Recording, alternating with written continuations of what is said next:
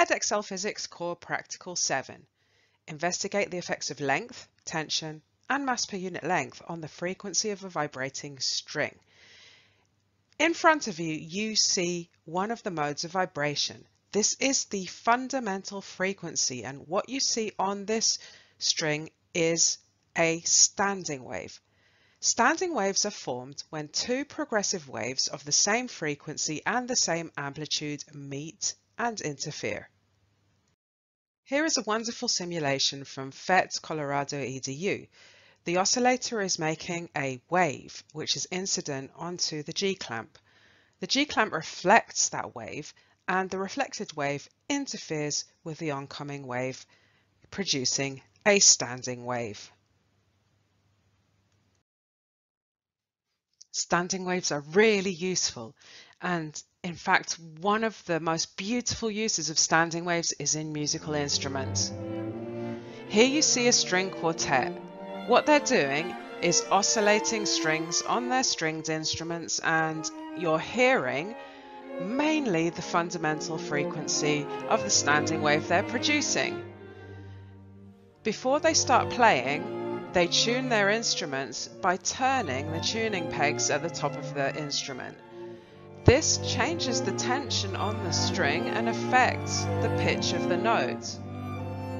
Another way that they're changing the frequency of the notes is by changing the length of the string. So you can see their fingers moving. When they have a short string, you hear a high frequency. Long string, low frequency. So length affects the frequency you hear, so does tension. The final thing that these wonderful musicians do is they can play thicker strings or thinner strings. So thick strings have a high mass per unit length and they produce a lower pitch sound or a lower frequency. Thinner strings, the opposite. They have not as much mass per unit length and produce a higher pitched sound. So we'll stop the beautiful music and move on to some beautiful physics based on the standing waves formed on strings. The speed of a wave is related to its wavelength and its frequency. The speed of a wave on a string is also the square root of its tension divided by its mass per unit length. So if we equate these two equations and then square them, we get this relationship. This particular practical is looking at these variables and how they are related. So the whole point is you choose what to investigate. Will you change tension and measure frequency, keeping wavelength and the mass per unit length the same. Will you measure mass per unit length? Change it by changing the type of string you're using and see how that affects the frequency at constant wavelength and constant tension. So using this equation as a basis, you have to pick two variables to investigate and keep the rest constant. Then after you take your measurements, you plot a graph to see if you can verify this particular relationship.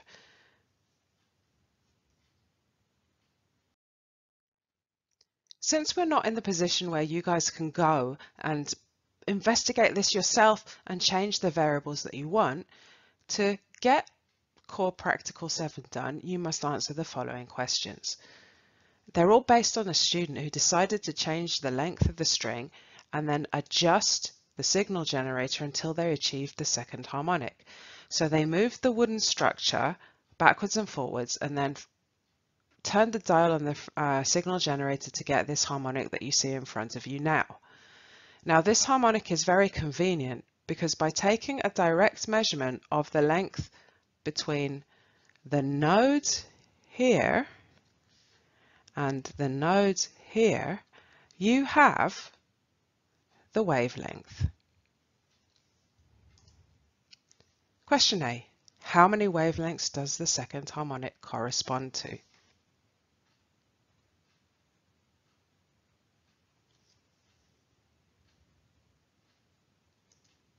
B. What other variables must be kept the same to ensure a fair test?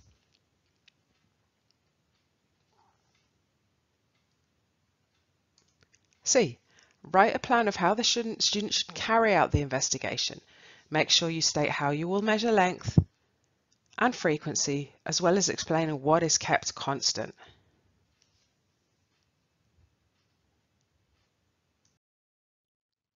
Use the results shown here to graphically display the relationship between length and frequency. So the best way to do this is to actually go back to the equation that we derived earlier.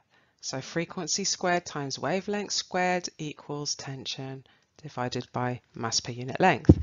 So if I make frequency squared the subject of the formula, I can write this relationship like this.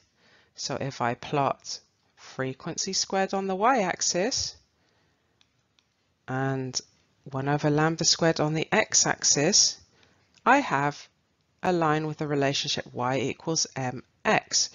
So I should find a straight line passing through the origin with gradient equal to tension divided by mass per unit length. After you have worked out your gradient, use that to find the mass per unit length of the string. As you can see here, the experimenter stated the tension that they used. So from the gradient, it's pretty straightforward to work out what mu is. Once you've done that, congratulations! You have completed Core Practical 7. Thank you for your attention and we can't wait to see you again back in the lab. Bye.